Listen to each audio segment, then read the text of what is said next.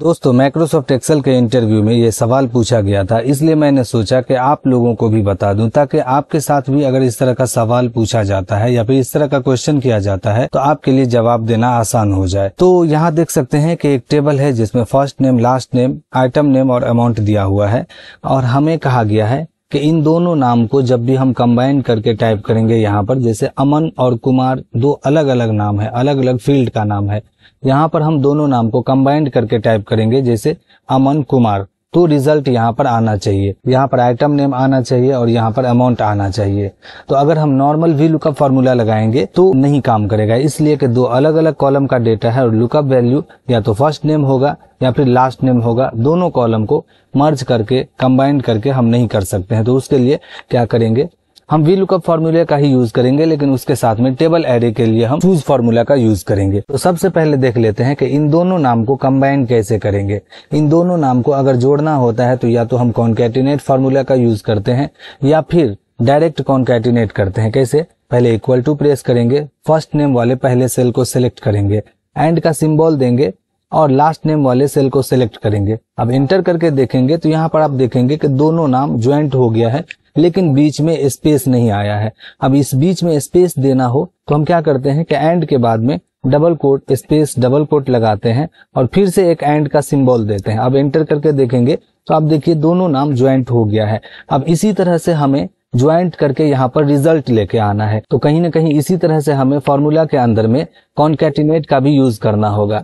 तो हम यहाँ पर लगा के देखते हैं पहले फॉर्मूला टाइप करेंगे इक्वल टू वी लुकअप सबसे पहले लुकअप वैल्यू पूछा जाएगा। तो लुकअप वैल्यू ये सेल होगा कॉमा लगाएँगे। अब यहाँ पर टेबल एरे पूछा जा रहा है। तो अगर नॉर्मल वी लुकअप होता या फिर जो है दोनों नाम फ़र्स्ट नेम और लास्ट नेम दोनों कंबाइंड करके लिखा गया रहता तो हम इस तरह से टेबल एरे में रेंज को सिलेक्ट कर देते। लेकिन यहाँ पर हमें दोनों कॉलम को मर्ज करके एक बनाना है तो हम यहाँ पर चूज़ फॉर्मूला का यूज़ करेंगे। चूज़ टाइप करेंगे और यहाँ पर इंडेक्स नंबर देना होगा। तो आपको ध्यान में रखना है कि जितने कॉलम का यूज़ हम रिज़ल्ट के लिए कर रहे हैं, बस उतने कॉलम को यहाँ पर हमें एरे में पास करना होगा। तो चूज़ के अंदर में करली ब्रैकेट टाइप करेंगे। और यहाँ पर one comma two comma three type करेंगे, क्योंकि यहाँ पर हम नेम आइटम नेम और अमाउंट तीन कॉलम का यूज़ कर रहे हैं। अब करली ब्रैकेट क्लोज करेंगे कॉमा लगाएँगे तो यहाँ पर इन सभी नंबर को वैल्यू देना होगा, क्योंकि एक नंबर दो नंबर और तीन नंबर नॉर्मल एक नंबर है, इसे वैल्यू असाइन करना होगा। तो पहले नंबर के लिए जो पहला वैल्यू होगा, हम इस तरह से फ़र्स्ट नेम वाले पूरे रेंज को सिलेक्ट करेंगे।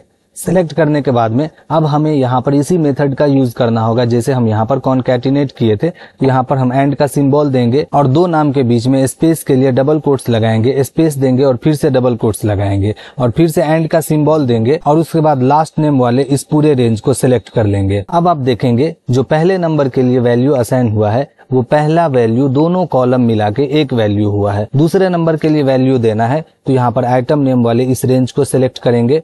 कॉमा लगाएँगे और तीसरे नंबर के लिए तीसरा वैल्यू देना है तो अमाउंट वाले इस पूरे रेंज को सिलेक्ट करेंगे। ब्रैकेट क्लोज करेंगे तो चूज़ फॉर्मूला के थ्रू टेबल एरे यहाँ पर चला गया है। अब इस टेबल में से किस कॉलम का रिज़ल्ट लाना है, वो कॉलम नंबर देना होगा। तो अब आप देखेंगे कि फ़र्स्ट नेम और लास्ट नेम मिला के पहला कॉलम हो गया है, दूसरा कॉलम आइटम नेम और तीसरा कॉलम अमाउंट हो गया है। और हमें जो रिज़ल्ट लेके आना है, यहाँ पर आइटम नेम को लाना है। तो आइटम नेम अब दूसरे कॉलम में है तो यहाँ पर हम टू टाइप करेंगे कॉलम इंडेक्स नंबर में कॉमा लगाएँगे और एग्जैक्ट मैच के लिए ज़ीरो टाइप करेंगे। ब्रैकेट क्लोज करेंगे और यहाँ पर हम नॉर्मल एंटर नहीं करेंगे, क्योंकि ये एरे का कॉन्सेप्ट हो गया। तो यहाँ पर हम कंट्रोल शिफ्ट के साथ में एंटर बटन दबाएँगे। कंट्रोल और शिफ्ट बटन दबा के रखेंगे और जैसे एंटर बटन दबाएँगे तो यहाँ पर देखेंगे फॉर्मूला लग गया है। आप देख सकते हैं कि दोनों साइड में करली ब्रैकेट का साइन ऑटोमेटिक लग गया है। अब आप यहाँ पर नाम टाइप करके देखिए, जैसे अमन कुमार टाइप करेंगे तो आप देखेंगे कि ऑटोमेटिक यहाँ पर आइटम नेम आ रहा है। उसी तरह से अगला नाम टाइप करके देखेंगे, पंकज मिश्रा।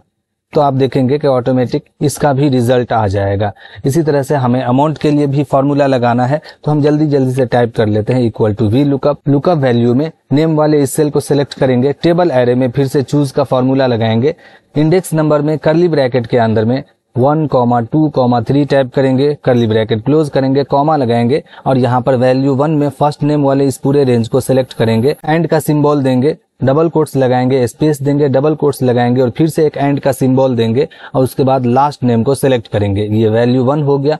वैल्यू टू के लिए हम आइटम नेम वाले इस पूरे रेंज को सिलेक्ट करेंगे कॉमा लगाएँगे और वैल्यू थ्री के लिए अमाउंट वाले इस पूरे रेंज को सिलेक्ट करेंगे। फिर से ब्रैकेट क्लोज करेंगे कॉमा लगाएँगे और इस बार कॉलम इंडेक्स नंबर थ्री होगा क्योंकि फ़र्स्ट नेम और लास्ट नेम दोनों एक कॉलम हो गया, दूसरा आइटम नेम और तीसरा अमाउंट वाला कॉलम थ्री देंगे कॉमा लगाएँगे एग्जैक्ट मैच के लिए ज़ीरो लगाएँगे। ब्रैकेट क्लोज करेंगे और फिर से कंट्रोल शिफ्ट और एंटर एक साथ जैसे ही प्रेस करेंगे, आप देखेंगे कि यहाँ पर अमाउंट भी आ गया है। अब दो अलग अलग कॉलम के नामों को जब हम मर्ज करके टाइप करेंगे और एंटर करके देखेंगे तो आप देखेंगे कि यहाँ पर रिज़ल्ट आसानी से मिल जाएगा। तो दोस्तों, इस तरह से जो है आप किसी भी इंटरव्यू को आसानी से क्रैक कर सकते हैं। उम्मीद है कि वीडियो अच्छा लगा होगा। अगर अच्छा लगा हो तो वीडियो को लाइक करके ज़्यादा से ज़्यादा शेयर कीजिए। और अगर आप चैनल पर नए हैं तो चैनल को सब्सक्राइब करके बेल आइकन को प्रेस कर लीजिए। तो मिलते हैं फिर से नेक्स्ट वीडियो में। तब तक के लिए धन्यवाद।